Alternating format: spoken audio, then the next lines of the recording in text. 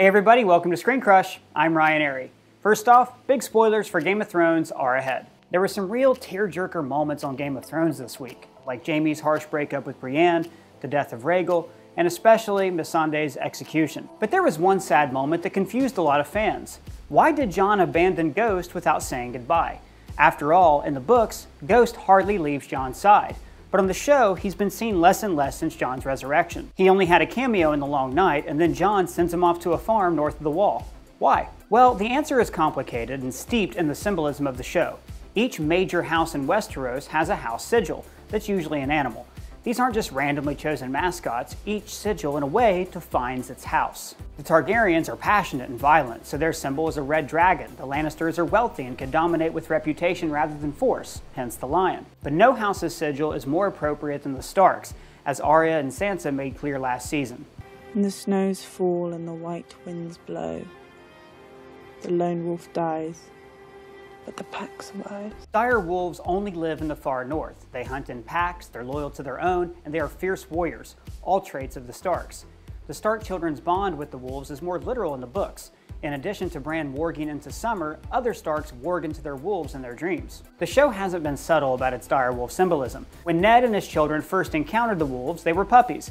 The mother had been killed by a stag. This foreshadowed House Baratheon, whose sigil is a stag, killing Ned. When they first find the pups, Theon offers to kill them, foreshadowing that he'll later betray the family and take Winterfell. However, it's Jon who points out that this can't be a coincidence. There are five pups. One for each of the Stark children.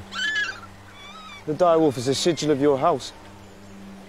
You were meant to have them. You'll train them yourselves. You'll feed them yourselves.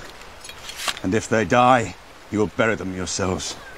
Ned's warning turns out to be prophetic. Each of the pups is tied to not just the child's life, but their inner core as a Stark. Sansa's wolf, Lady, is kind and gentle as Sansa used to be. But when Sansa betrays her sister, and by extension her family, Lady is put to death. This is because Sansa has abandoned the northern part of herself in order to try to impress Joffrey. I didn't see. Arya forces Nymeria to flee rather than face death in King's Landing. This symbolized Arya's wild nature and how she defies the gender norms of Westeros. We'll marry a High Lord and rule this castle. No. That's not me.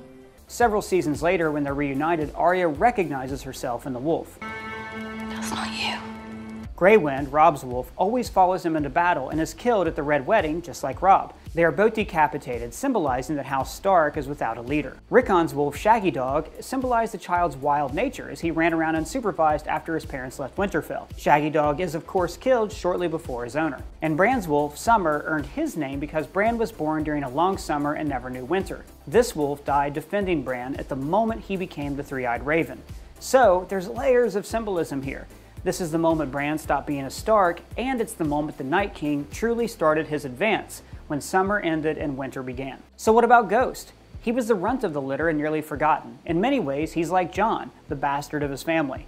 His name, Ghost, implies that Jon is haunted by the past, which he is because his secret parentage hung over his head his entire life. You are a Stark. You might not have my name, but you have my blood. Ghost is white, and this also has significance. When the bastard becomes head of a house, the sigil's colors are inverted.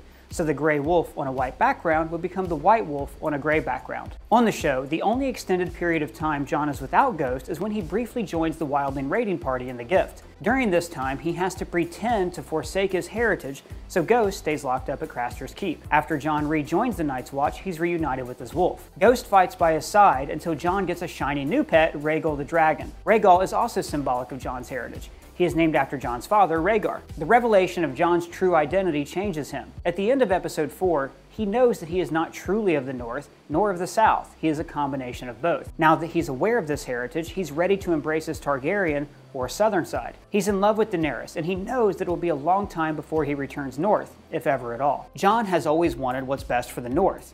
In his mind, the North and Ghost are better off without him. By removing himself, he's also freeing the North of the lie that he's Ned Stark's son. Now Sansa, Ned's trueborn child, can rule the North. And he doesn't just abandon Ghost, he asks Tormund to look after him. Will you take him with you? He'll be happier up there. So, by giving up Ghost, Jon is sacrificing his own happiness for his wolves. In the same way, he's sacrificing his desire to stay in the North for his duties that wait in the South. Ghost represents Jon's identity as a Northerner. By sending him away, he's symbolically letting go of his Northern heritage and his lifelong dream to be a trueborn Stark. So Jon doesn't give Ghost a tearful goodbye because, in a way, the wolf is no longer a part of him. Jon is no longer a bastard longing to be a Stark.